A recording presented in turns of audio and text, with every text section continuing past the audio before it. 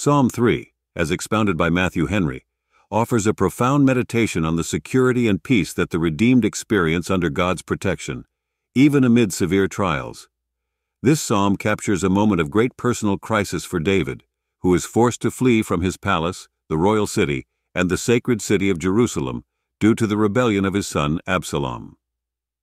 Despite the gravity of his situation, David's response unfolds in several stages, each reflecting a great and abiding faith in God's sovereignty. Initially, David laments the overwhelming number of his enemies, expressing his distress to God in a candid and heartfelt manner, verses 1 2. The situation appears dire, with many rising against him and doubting God's deliverance. Yet rather than succumbing to despair, David quickly shifts his focus, reaffirming his trust in God as his shield and protector, verse 3. This declaration of faith is not abstract, but deeply personal, as David recalls the many times God has answered his prayers and provided for him in the past, verses 4 5. Buoyed by these memories of divine faithfulness, David triumphs over his fears, confidently emphasizing that he will not be afraid, even though surrounded by countless enemies, verse 6. His faith empowers him to rise above the immediate danger and petition God for deliverance, boldly asking for divine intervention against his adversaries. Verse 7. In the conclusion of the psalm, David turns his focus to God's overarching sovereignty, acknowledging that salvation belongs to the Lord and that his blessing is upon his people. Verse 8. Henry accentuates that David's experiential understanding of God's power and goodness enables him to speak with authority about the peace and security that the godly can claim, even in the midst of their most challenging circumstances. Also, Henry sheds light on the psalm's context, written during David's flight from his son Absalom, who had conspired against him to seize the throne and take his life. This background is crucial for discerning the depth of David's emotions and the faith expressed in the psalm.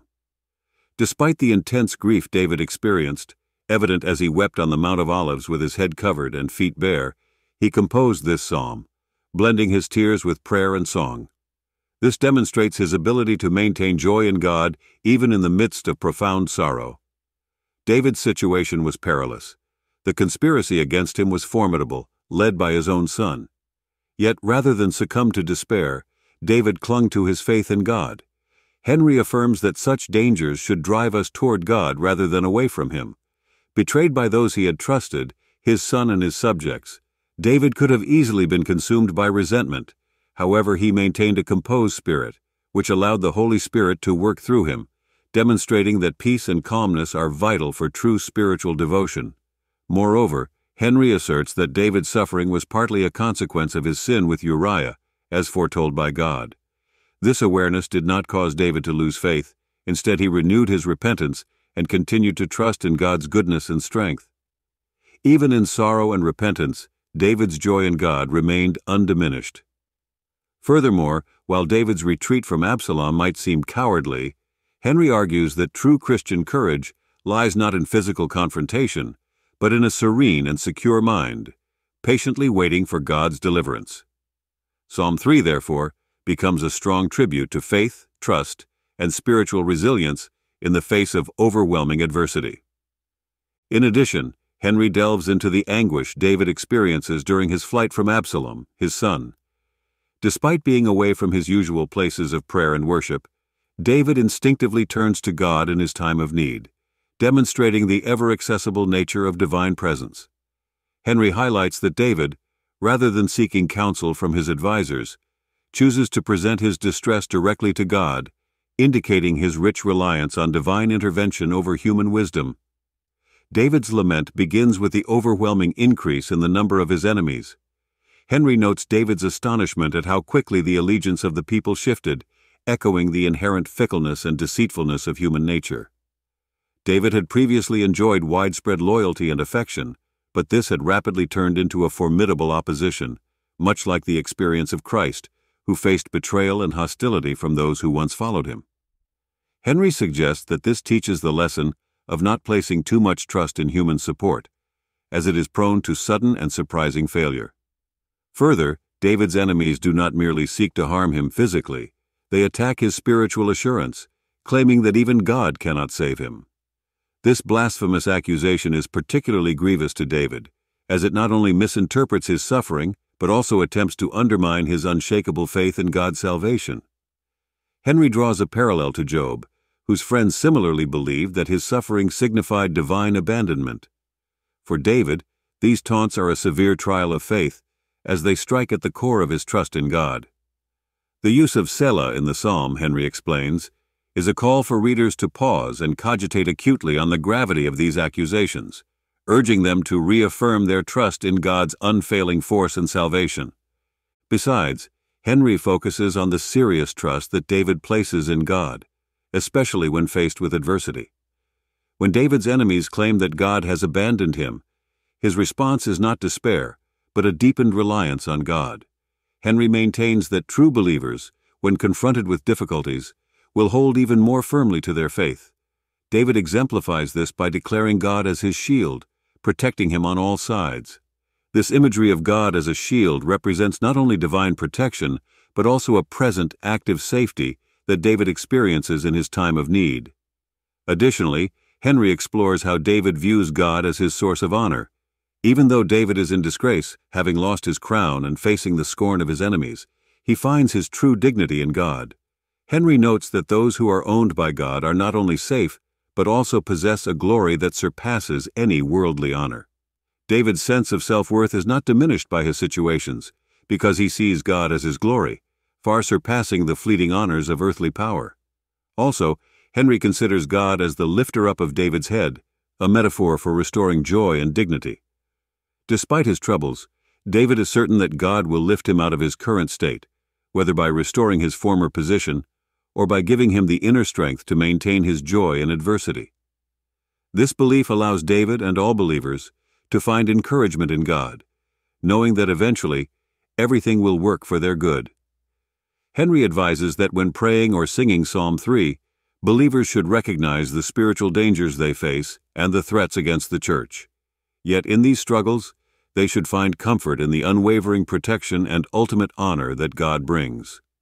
Moreover, Henry dives into King David's abiding trust in God during times of severe adversity. Faced with overwhelming challenges and surrounded by enemies, David chooses to lift his eyes toward God rather than be consumed by the discouragement around him. This psalm serves as a testament to David's faith, pointing out his retrospective gratitude for God's past faithfulness and his hopeful anticipation of divine deliverance in the future. David recalls with comfort the numerous instances where his communion with God equipped him with strength, especially during moments of thorough difficulty and oppression. Each trial drove him to prayer, reinforcing the essential role that sincere and fervent prayer plays in the life of a believer. Henry reiterates that David's troubles consistently brought him to his knees, turning his grief into earnest cries to God. This act of prayer, rooted in a fervent heart, is seen as intensely important, as it mirrors a genuine dependence on God. Even though God can figure out the silent prayers of the heart, the earnest cry of a troubled soul is specifically noted by him. Furthermore, Henry elaborates on David's firm belief that God was always ready to answer his prayers. Despite physical distances, such as when David was fleeing from Absalom and was away from the ark of God's presence, he remained sure that his prayers reached God's holy hill of Mount Zion. This assurance stems from David's comprehension that God's grace is not confined by geography, and that divine communication is facilitated through the promises of the covenant. Henry repeats that these promises are basically fulfilled in Christ, the King upon Zion, through whom all prayers are heard and answered, reinforcing the enduring bond between God's grace and human faith. In addition, Henry digs into the strong trust and reliance that David places in God's protection, even during times of extreme danger and betrayal. David, despite being surrounded by enemies and facing the rebellion of his son Absalom, finds a weighty peace that allows him to sleep soundly. Henry underlines this as a remarkable example of faith, underscoring that while many are unable to rest due to fear, anxiety, or physical discomfort, David's ability to sleep is a direct result of his determined trust in God's providence. This peace is not slightly a natural rest, but a divine tranquility that comes from committing one's life and struggles to God. Further, Henry draws an effective parallel between David's experience and the resurrection of Christ. Just as David was sustained by God and awoke after rest, Christ, after his crucifixion, was resurrected on the third day, sustained by God, and not left to decay. This connection emphasizes the theme of God's sustaining strength, both in life and in death. Besides, Henry discusses how God has historically intervened to protect David from his enemies, breaking their power and rendering their attempts to harm him ineffective. This is symbolized by the imagery of God striking his enemies on the cheek and breaking their teeth, indicating a complete disarmament of their ability to cause harm. Henry stimulates believers to contemplate on these past acts of divine intervention, reminding them that God's force to protect and deliver remains as strong as ever.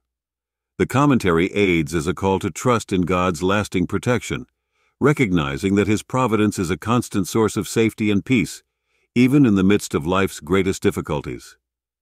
Last but not least, Henry examines David's profound certainty in God amid severe threats. David, surrounded by 10,000 enemies, faces what appears to be an insurmountable challenge, yet he remains unshaken in his trust in God's protection. Henry contrasts this moment with an earlier instance during David's flight from Absalom, when he expressed uncertainty about the outcome of his troubles, resigning himself to whatever God deemed fit. However, in Psalm 3, David speaks with enduring determination, illustrating a transformation from doubt to steadfast faith. Henry notes that this shift is implanted in a cheerful resignation to God's will, which fosters vivid peace and courage in the face of adversity. Additionally, Henry accentuates the central role of prayer in this context.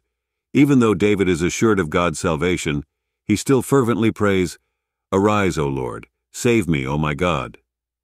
This reflects a significant principle. God's promises are not a reason to forego prayer, but rather a consolation to engage in it more earnestly. The act of praying for what God has promised shows trust and reliance on Him. Also, Henry affirms the triumphant nature of David's faith. The psalm begins with a lament over the strength of his enemies, but concludes with exultation in God's power and grace. David's confidence is grounded in two key truths. First, that salvation belongs to the Lord alone, who possesses the final authority and ability to save. And second, that God's blessing rests upon his people, securing them in his favor even when outward conditions suggest otherwise. Henry concludes by boosting believers to internalize and live out the psalm, promoting a steadfast hope in God's salvation and an intense assurance in his blessing, despite any present difficulties. In conclusion, Henry investigates the theme of divine protection and peace during life's most intense trials. This psalm, penned by David during his flight from his son Absalom's rebellion, echoes a deep moment of personal crisis. Despite being surrounded by enemies and facing betrayal, David's response is one of resolute faith in God's sovereignty. He begins by candidly expressing his distress over the sheer number of adversaries and the doubts cast on God's ability to deliver him, verses 1 2. However, David quickly shifts from lament to trust, affirming God as his shield and recalling his past faithfulness, verses 3 5. This recollection enables David to rise above his fears and assuredly petition God for deliverance, asserting that he will not be afraid even if surrounded by countless foes, verse 6. Moreover, Henry highlights the significance of the psalm's context, David's perilous flight from Absalom, marked by serious grief and danger. Despite these factors, David maintains his joy and faith in God demonstrating spiritual resilience. Henry also notes that David's suffering was partly a consequence of his sin with Uriah. Yet instead of succumbing to despair, David develops his repentance and trust in God's goodness. Lastly, David's single minded trust in God is indicated by his ability to sleep soundly, even when surrounded by enemies, which Henry interprets as a sign of divine tranquility born of faith. The psalm concludes with David recognizing that salvation belongs to the Lord and that his blessing is upon his people. Verse 8. Henry sees Psalm 3 as a capable testimony to the abiding faith and trust that believers should place in God, emboldening them to rely on his promises and find peace in his staunch protection.